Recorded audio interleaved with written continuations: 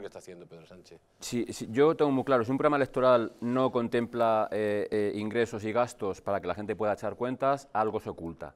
Yo no soy economista, pero si los economistas dicen que nunca en la historia de la democracia española se ha, se ha presentado un programa electoral sin un, programa económico, eh, ¿qué ocultan?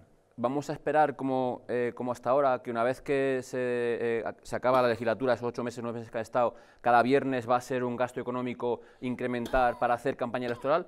Yo creo que aquí hay que ser transparentes, o sea, si el estatus si político está tan mal visto, yo creo que esto hace que se, que se esté peor. Es decir, no podemos engañar al ciudadano, el ciudadano no es tonto y el ciudadano tiene que echar cuentas y por tanto díganle lo que ingresan, díganle lo que se va a gastar y que echemos cuentas. Lo que no podemos es estar hipotecados y escuchar cifras de deuda pública de 58.000, de no sé cuántos mil millones de euros